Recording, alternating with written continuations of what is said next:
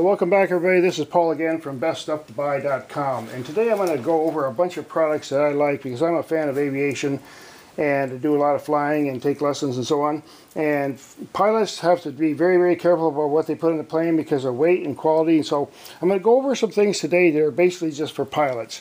And if you're an entrepreneur a lot of this stuff here might be very very useful to you too. So First of all, get yourself a really good bag. This one's by Timberland. I actually picked it up at a yard sale in great shape for just uh, like a fraction of what it normally costs. And I'm going to put a lot of stuff in here that I recommend just because rather than go into detail about each product, I wanted to just quickly go through a bunch of really good things here that pilots need. Number one, you're definitely going to need some pens and pencils. You really have to write down stuff in aviation because there's uh, a lot of frequencies and, and all kinds of information that you really need to know. So what I have is a little bag here and you know keep my things organized and just easy access and very colorful so and it won't bother if it gets wet. And I put my all my pens and so on together in one place. And I have a little notebook in here. And in this notebook I have little special information and popular used frequencies and you got to have, like I said, things to write things down in, and this is a great little booklet by a company named Shoutlet, I guess. And, you know, there's a lot of things like this. I put this in one section here.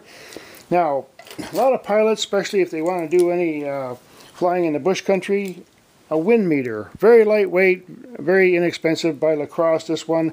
And I got it on eBay, and it'll give me a top wind speed and average speed, and it'll also show me the temperature. So I throw that guy in there.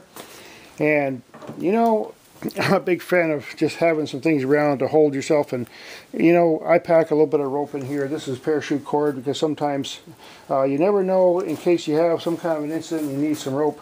Uh, for example if you have uh, get down in the forest or something like that because of some um, mechanical failure or so on. Again pair of sunglasses good ones get some good ones. Um, I have, uh, this is a great little pen that I use. It's made by PenAgain and it's shaped like an airplane, very comfortable. It can be used in left or right hand. So I take this along. And I have, um, of course, more pencils. Very important. Get a, a flashlight or two. It might not hurt to have two. If you want to do your calculations uh, for your wind correction and your density, altitude, and so on, you need some kind of a calculator. Now this one is by Jeppesen, and it's the CR3. And you know, once you figure it out, the basics that you need to calculate, uh, it's not that difficult. On the other hand, you can use an iPhone like this, and it has a great a number of great products and apps for that. Um, I personally am a really big fan of the lanyard. A lanyard came about because once upon a time people would carry their sextant on a ship and boy you didn't have very many of those and uh, if you lose it forget it. So they would attach it themselves using a lanyard. Now I've come up with a little system here that I use. I have this lanyard here as you can see and it has a retractable cord here and this also can clip onto something and I'll show you in a minute what I clip that to. And then I have a really good pen, very simple, and I, I can clip this and take it apart or put it back on and I put this around my neck and I also have a little sheet of paper here where I can put in any frequencies I might need to write down. So that goes around my neck. And then in addition, I have a little system and I use an additional product like this. This I think I got from AOPA. It's a very lightweight clipboard. It has a lot of inf interesting information and important stuff on the front and the back and it's useful and very durable. So what I combine this with is I, I hook this around my neck and then I have another lanyard in which I clip this clipboard. That way this thing sits on my lap and if it falls off my lap for some reason I don't need to worry about it. It's not going to go very far because it's right there attached to me. And you know if I want to have a little bit more uh, substance in my navigation tools at my disposal. Let's say I'm going to a cross-country trip.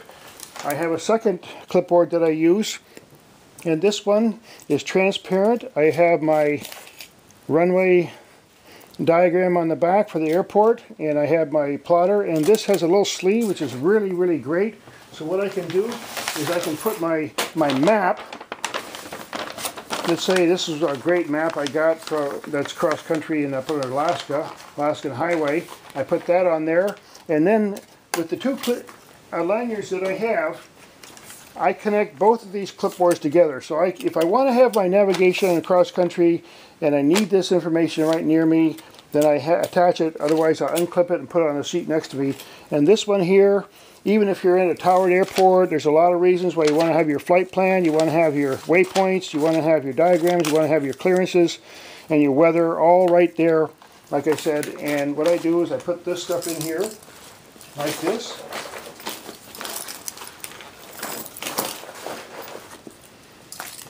And I put my lanyards in here. Here's another kind of lanyard. And this I got in an air aviation seminar. and uh, It has a little clip on it. And there's a bunch of little clips attached to this so you can put keys or whatnot on it. It's a great little system here. I haven't filled, uh, found a, a, great use for it in my present system at the moment. I've used some of these little clips, uh, but this is a very handy gadget. Another thing to put in my bag would be a little light and radio, so if something happens, God forbid, especially if you're going to be doing any bush flying. So I throw that in there. I put these near all the stuff that I need immediately. When I get to the plane, I just open this up and bang, I got this stuff. Now, I have another system that I use for my cross-country navigation. And in here, I would put some more additional flight plans a spare compass, which is always great. Let's say I want to be out in the field and I don't want to get in the plane and start it up. I just want to take a, a wind heading indicator or so on. This is a little speed calculator where you set it for how, how fast you're going and you lay it on a sectional scale and it'll tell you how many minutes. Very uh, simple calculator and very easy to use. I have some additional flight plans and calculators and some runway safety and things like that information. And a good plastic sleeve like this is always comes in handy. I have another pen duplicate and it's attached to this permanently so then I close this up. So between the three items basically three little laptop things that I use for my uh, flying. Now another thing you definitely want to have is a nice pad of paper. Some colored markers maybe a clip or two for clipping your documents together or papers and I found this little gadget at a show I was at and it's made by Glove Light and there's a red and and a green version of it. And you put this on like this and you can put it on whatever fingers you want but it shines down where you're going to um, write. Or you can just shine it around inside the cockpit to see your gauges should something go out there and you have to do that. Now again I like to carry a little bit of tape. You never know things happen um, I found a little lock here. This lock fits on this bag. There's the segments here. If I had something more valuable, then I would lock it uh, for travel. I have a booklet here, Visualize Flight Maneuvers. Now, this is really great because I haven't done all these, eights on pylons and so on, but boy, I tell you, it's a, a, constant education being a pilot, so it helps to have this stuff around because even if you've already studied it, it'll help remind you and there's never uh, such a thing as too much practice in aviation. Post-it notes for clearances, various kinds of gauges, whichever you prefer. These are uh, plotters for plotting your routes and different scales and your angle and your heading and so on. I like to have uh, my map uh, all set up for me when I travel, so I actually bought two maps and I have both sides taped together so that means that I have an entire large area on one side and I can just fold it into the section that I want to be using at that moment.